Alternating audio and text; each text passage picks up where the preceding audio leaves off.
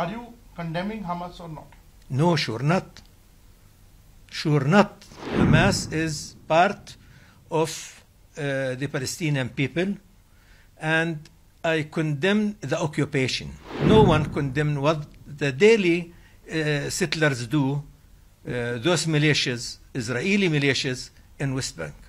This conflict will continue forever. We are not going to live as slaves in our homeland.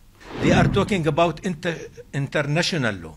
Israel has never been adhered to the international law. What about the Palestinian? What about the Palestinian?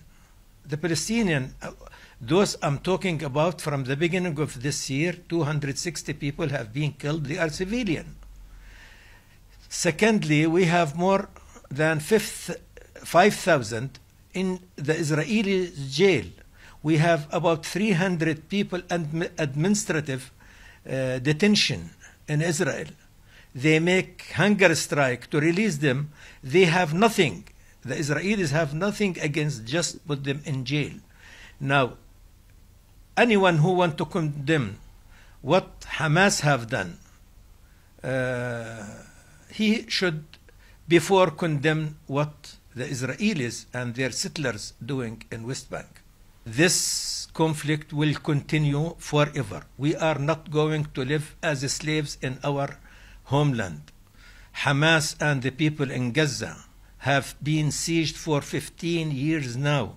2.2 million living in open prison. They can't move. They can't uh, do anything. They don't have any hope. They are talking about inter international law. Israel has never been adhered to the international law. Never. We are ready for peace. From now, we are ready for peace. We hate seeing any blood uh, uh, anywhere, right? We hate war. We want to live like any other people, but we are not going to live as a slave under occupation. We are will never, and there is no peace. I'm saying now, there is no peace if the Palestinian people did not get their independent state and live like any other people in the world.